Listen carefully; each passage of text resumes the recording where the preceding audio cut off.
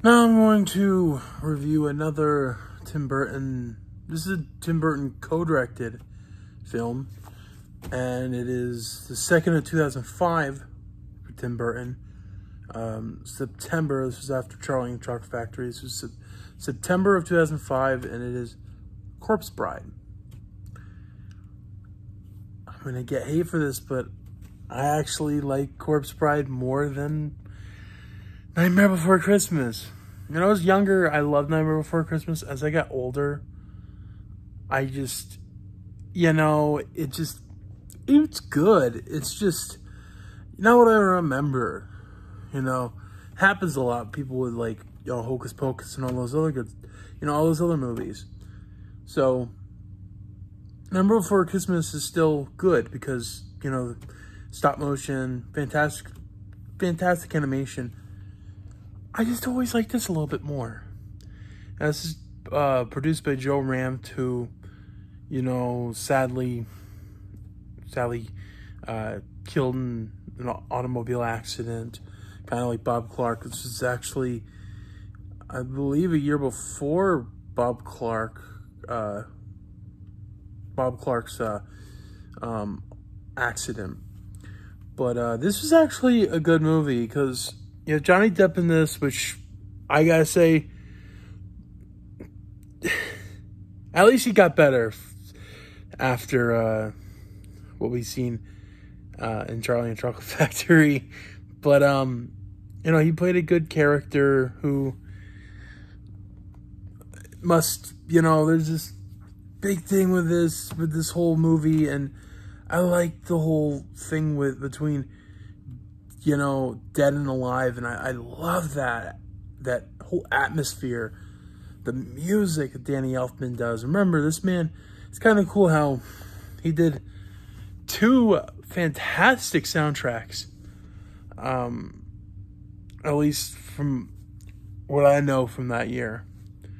The Charlie Chalk Factory and this. And you got Michael Gough in this. You got the that uh, really attractive uh, woman who played the witch, the the good witch from The Witches from 1990. She's in this. Um, Tracey Ullman is in this. Richard E. Grant is in this. Emily Watson is in this. Helena Bonham Carter, in my opinion, stole the show. Um, Deep Roy was awesome in this.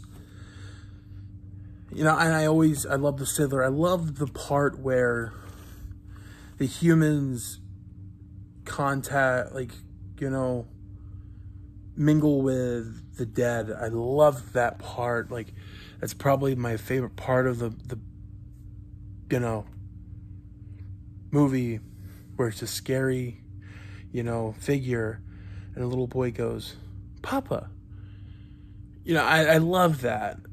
And then the, the old, the elderly lady, I haven't seen you in years.